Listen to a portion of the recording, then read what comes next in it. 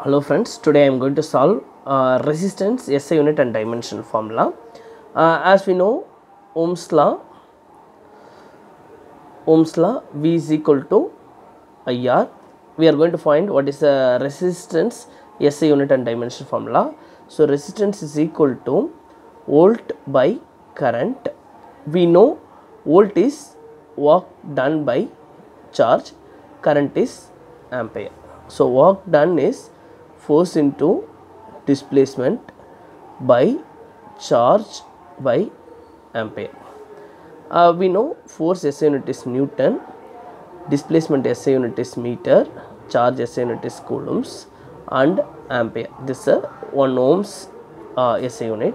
Newtons we know force into F is equal to MA that means kg meter second minus 2 uh, kg is mass acceleration is uh, meter per second square. So newton we got kg meter second minus 2 into meter divided by coulombs ampere. So meter meter meter square.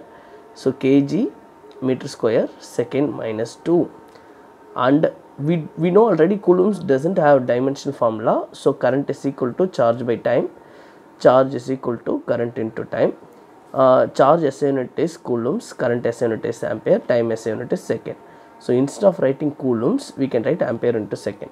Ampere into second into ampere. That means kg meter square second minus 2 ampere square second. So that going to be a kg meter square second minus 2 ampere minus 2 second minus 1 from numerator I am bringing as a denominator. The power sign you should change opposite to that. So that means kg meter square second minus 3 ampere minus 2 it is m l square t minus 3 a minus 2 it is a dimension of formula for resistance. That means what is the dimension formula for ohms means you can write m l square t minus 3 a minus 2 okay the again resistivity. How to find resistivity? SI unit and dimension formula. So we know resistance is directly proportional to length inversely proportional to area. So resistance is equal to resistivity times of length by area.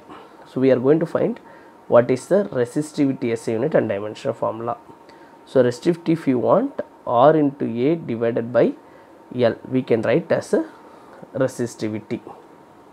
So now we are going to find what is the resistivity dimensional formula.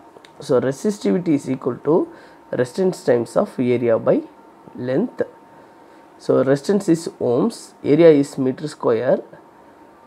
Length is meter. So this is going to get cancelled. So ohm meter we can take it as a resistivity unit already we know ohm is unit is kg